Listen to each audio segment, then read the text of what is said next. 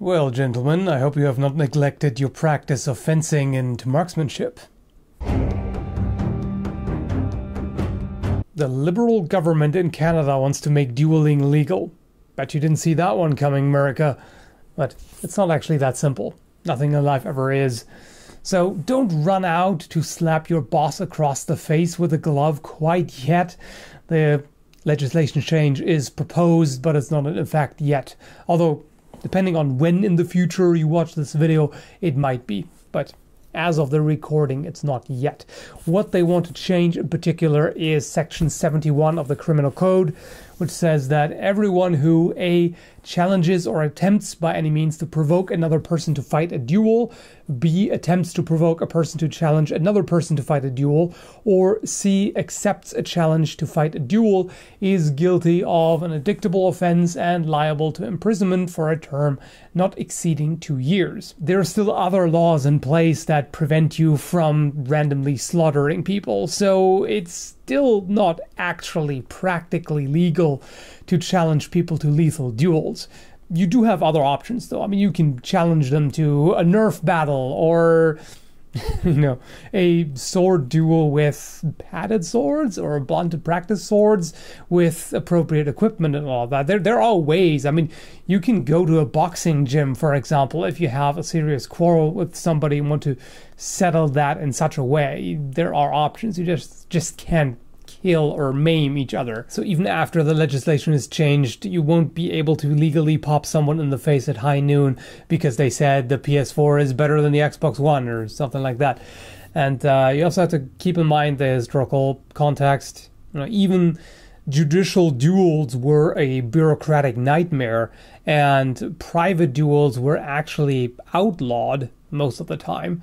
Uh, even though exceptions were made and noble duelists were often pardoned after the fact, even though it was socially legitimate for the most part to challenge people over issues of honor, it was not technically legal. I'm, by the way, talking about European dueling culture between the, the 16th and the 19th century.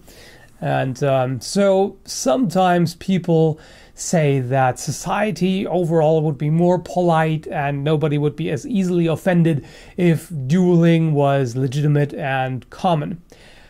But if you actually look at the historical background, the answer is no. That's not, you can't really say that. In fact, you may argue that gentlemen in historical times were easier to offend than people nowadays, or at least it often seems so. To give you a few examples, as late as 1870, the French painter Edouard Manet challenged his friend Edmond Duranty to a sword duel. Why? Because he hadn't praised his art highly enough. Yeah, it was over artists' pride. Then there's the so called Petticoat Duel of 1792, where Lady Almeria Braddock challenged Mrs. Elphinstone to a duel with pistols and swords because she said Braddock looked older than she claimed. You just don't mess with a lady's age. So in 1765, Lord William Byron killed his cousin William Chaworth in a sword duel because of an argument over whose estate held more game birds. How dare you dispute the number of my birds, sir? I am deeply offended. There were lots of social norms and rules that would make gentlemen feel obligated to challenge somebody to a duel. For example, if somebody would accuse you of something and it's a lie, they have no proof for it, then you have to challenge them to a duel unless you want to forfeit your honor, which many people consider to be worse than death.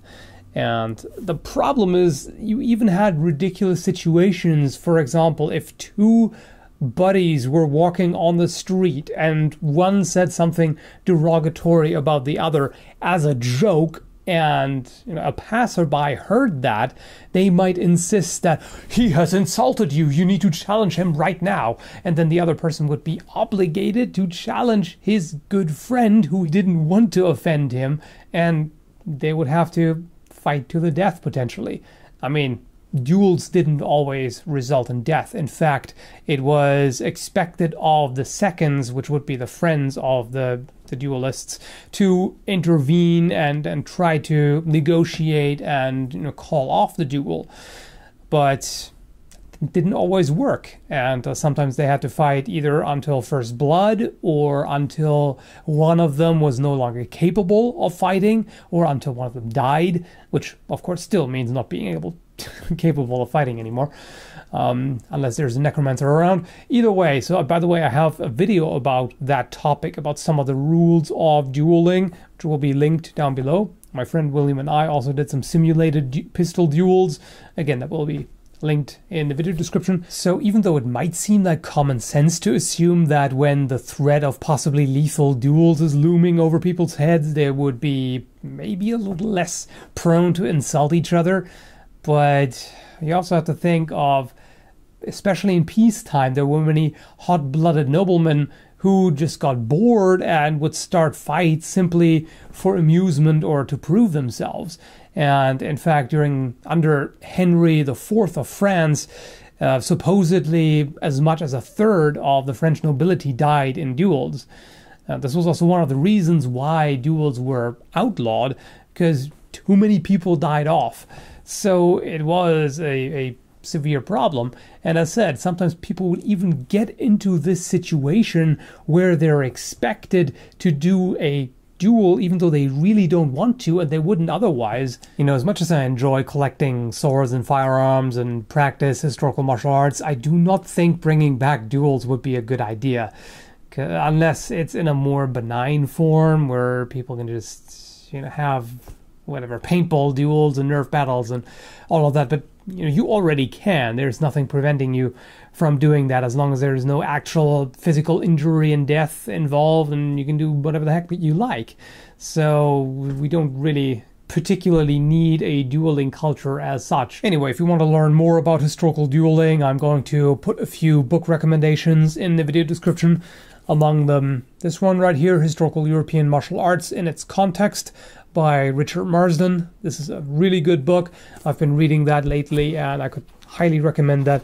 There is a lot of information about dueling. I'm not going to show you much of the book right now, but uh, it's certainly worth picking up. And if you want to see demonstrations and explanations of historical martial arts, which I do occasionally, but not all the time, and you can go to the Blood and Iron channel, which will also be linked down below. So they're very capable instructors who go through certain techniques and show how this is done. It's really good material for basic introductions and also more advanced stuff.